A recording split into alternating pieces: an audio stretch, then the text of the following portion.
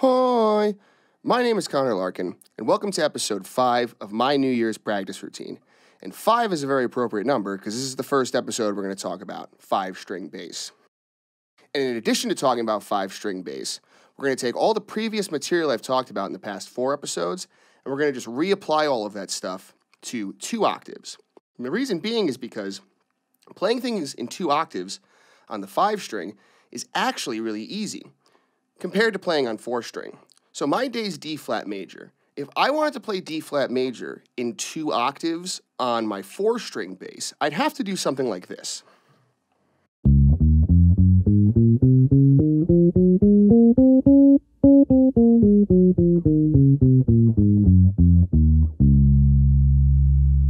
Which is a good thing to be able to do, but on a five string, it's much easier. Check this out.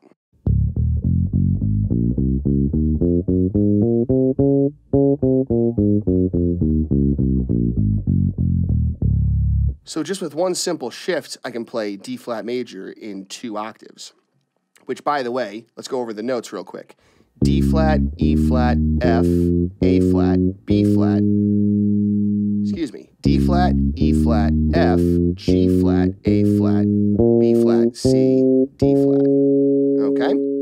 So, let's go through um, all of the arpeggios of this scale in two octaves. So we got D flat major, E flat minor, F minor, G flat major, A flat major, B flat minor, C diminished. And then we're back to D flat. Let's see if I can play that all at once.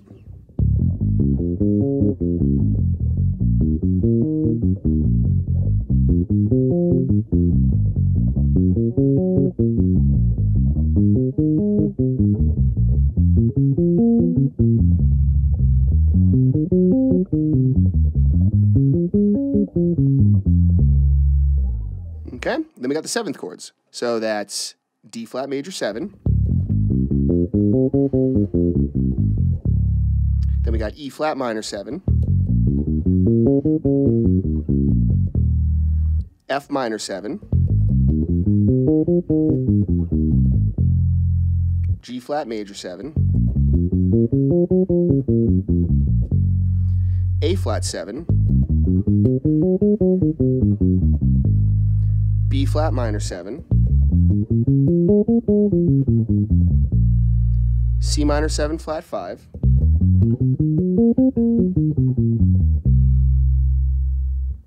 D flat major, 7. Okay, so let's see if I can do that all at once.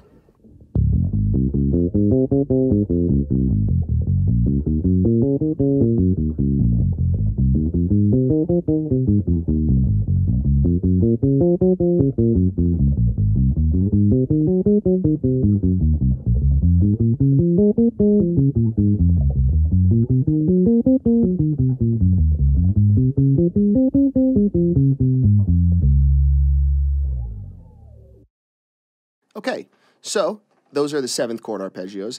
Now, what we can also do is we can talk about some chords a little bit. Now, this is where things get a little more interesting because what I like to do on a five string bass is I like to take the basic chord shapes, um, which would be like, okay, so like here be D flat major, E flat minor, F minor, G flat major, A flat major, B flat minor, C diminished, and D flat major. And I like to take that bass note and put it down one octave. So now I have this.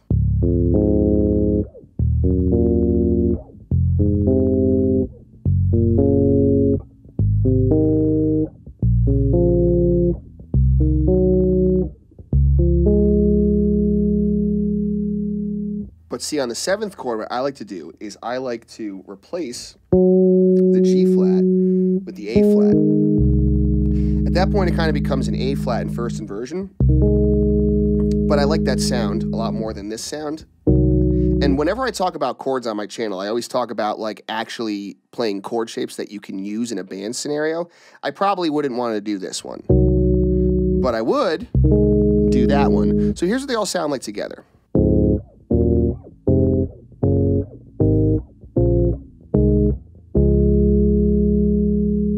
Okay, now what I also think sounds really good on a five string bass is seventh chords.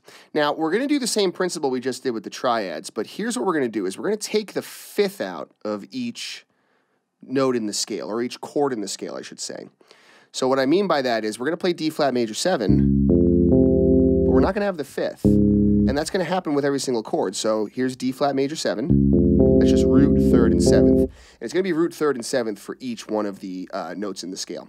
So we have D flat major 7, E flat minor 7, F minor 7, G flat major 7, A flat 7, B flat minor 7, and then C minor 7 flat 5, but check this out, there's no flat 5, so it's actually the same shape as a minor 7. And then we're back to D flat major 7. And then what we could do is we could just do the same exact trick. We're just going to take that bass note and put it down an octave, so now we have this.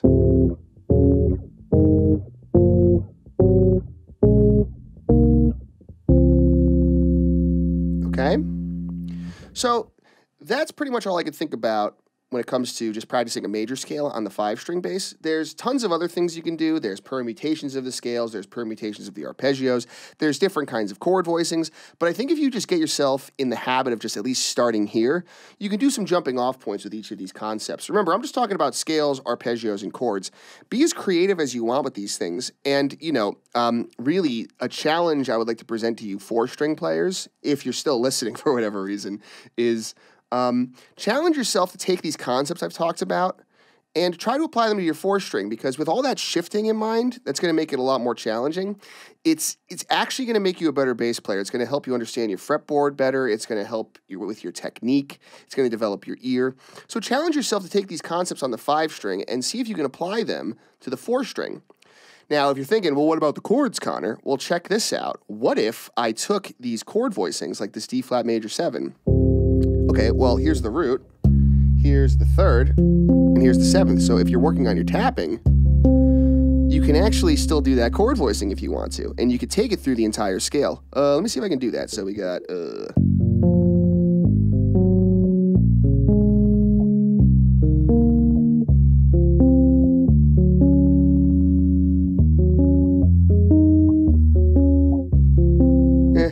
work on it.